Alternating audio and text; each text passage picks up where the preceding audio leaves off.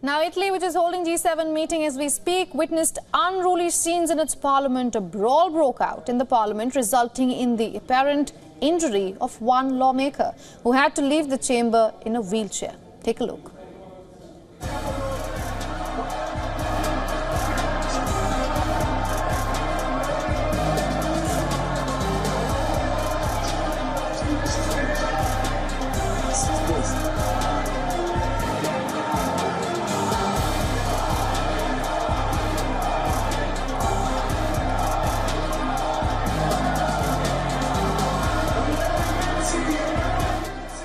For all the latest news, download the WION app and subscribe to our YouTube channel.